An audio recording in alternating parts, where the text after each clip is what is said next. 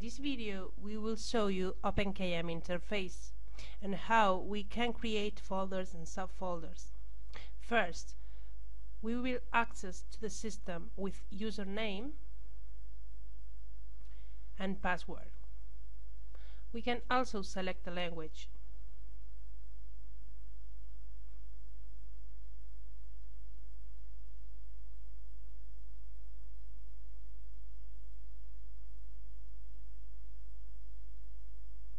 As we can see, the desktop is displayed divided into five major areas. Menu options,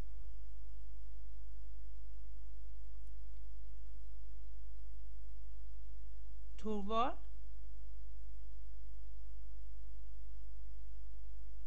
folder tree, document explorer,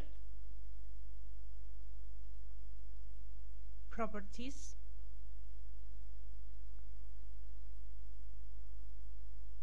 and user information.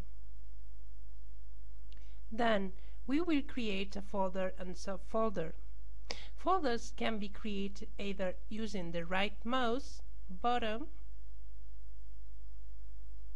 or by using the icon in the toolbar. We assign a name to the created folder and we accept.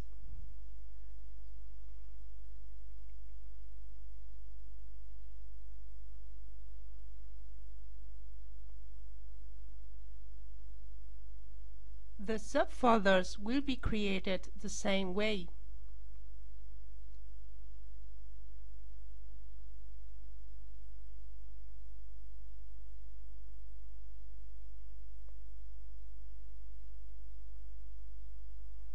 Now we can enter documents in folders.